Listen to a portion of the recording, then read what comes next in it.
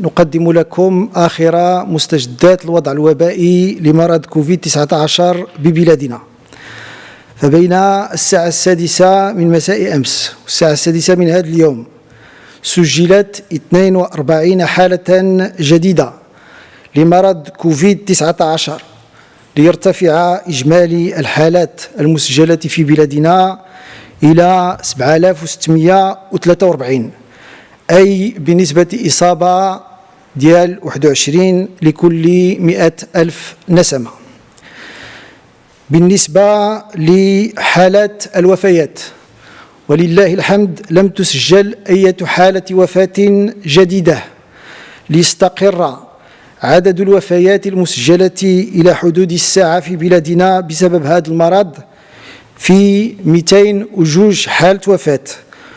وينخفض بشكل طفيف معدل الفتك إلى 2.6% بالنسبة لحالات التعافي انضافت والحمد لله 217 حالة تعافي جديدة ليصبح إجمالي المتعافين في المغرب 5195 حالة شفاء تام.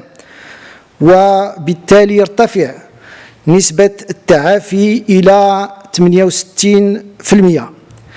بالنسبة للحالات النشطة أصبحت اليوم تشكل 2246 31 منها توجد فقط 31 توجد بأقسام العناية المركزة والإنعاش أي تشكل 1.4% من مجموع الحالات النشطة.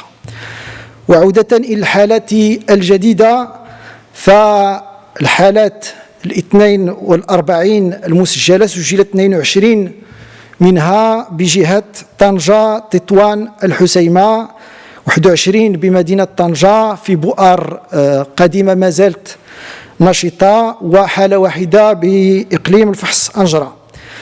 14 حالة سجلت في جهة الدار البيضاء سطات مع ظهور بؤرة آه، صناعية صغيرة.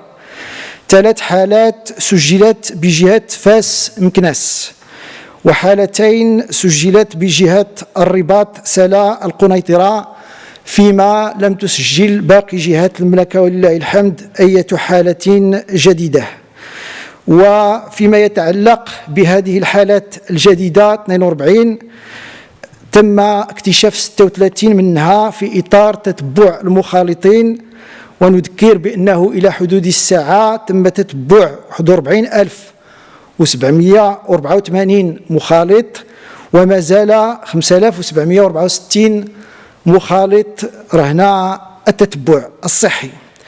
ونختم بمعدل توالد الحالات الذي أصبح مستقرا ولله الحمد في الآونة الأخيرة. تحت عتبة 0.8 وبالتحديد اليوم يساوي 0.78 والسلام عليكم ورحمة الله وبركاته. إذا مشاهدينا الكرام كان هذا التصريح اليومي لوزارة الصحة حول آه، آخر المستجدات المحينة المتعلقة بوباء آه، كورونا بالمملكة.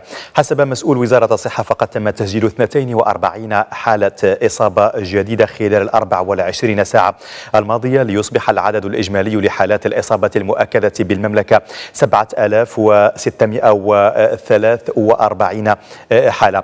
فيما يتعلق بحالات الوفيات فلم يتم تسجيل أي حالة خلال ال 24 ساعة الماضية ليستقر عدد آه، حالات الوفيات في 200 وحالتي آه، وفاة آه، بمعدل فتك لا يتجاوز 2.6 بالمئة حسب نفس المسؤولة. أما فيما يخص حالات التعافي فقد تم تسجيل 217 حالة تعافي خلال ال 24 ساعة الماضية ليبلغ العدد الإجمالي لحالات التعافي بالمملكة. 5195 حالة. نسبة التعافي طبعا حسب نفس المسؤول وصلت إلى حد الآن 68% فيما يخص التوزيع الجغرافي للحالات المسجلة خلال ال 24 ساعة الماضية بالطبع جهة طنجة تطوان الحسيمة تصدرت ب 22 حالة تليها جهة البيضاء سطات ب 14 حالة مع ظهور بؤرة صناعية صغيرة. إذا كانت هذه أبرز المعطيات التي تضمنها التصريح اليومي لوزارة الصحة.